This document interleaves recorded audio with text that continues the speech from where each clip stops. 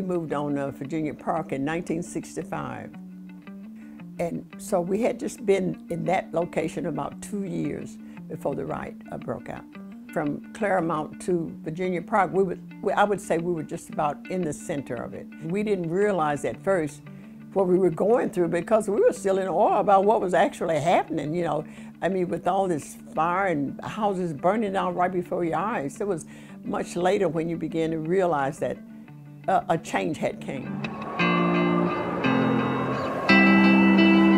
At that time, my family and I were living on Virginia Park, right at 12th Street, and that's uh, located between Claremont, where it began, and West Grand Boulevard.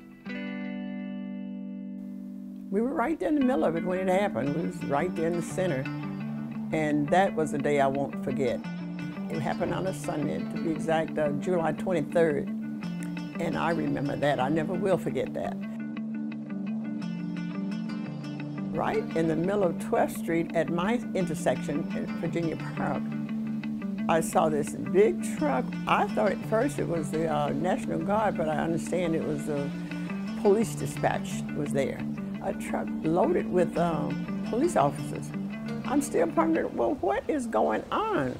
The talks started coming in, people were talking, and, and we were wondering, still not quite sure what was going on. But then by the afternoon, I'd say around three o'clock, four o'clock, it was really, it was very uh, exciting, you might say, because I'm, I'm just wondering what happened, you know. Uh, people began to move around, talk what's going on, and then you see more and more police officers. And after that, it just went wow. By now, we began to see these fires coming from everywhere. Oh my goodness, what is going on here? Now we're seeing things come together, the fires began to really grow and they were getting bigger and bigger and buildings was catching on fire and they were burning. And so we were kind of surrounded by fire. And then the people start coming in, they were throwing stones and rocks at the, at the firemen. And they were throwing, and they wouldn't let them put the fire out. So they dropped them and left them. And I remember seeing the uh, fire hoses laying on the ground, cut up and burning up. I said, oh boy, this is something. I don't know what we're going to do.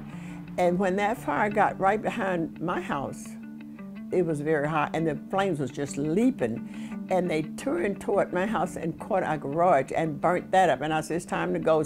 Near us was the street was uh, Euclid, and we saw three houses burn down there.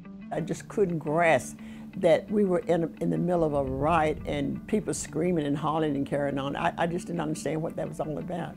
This went on for about five days. After the riot was pretty much the same. We just had to deal with cleaning up behind, you know, all the debris and what have you. That was after everything really quieted down. And when the National Guards came in, they took over and they gave us curfew. We had to be inside at a certain time of day. Think you can move forward, but you have to have a change of heart and change of attitude. You have to let it go and move on. And you have to have a hope.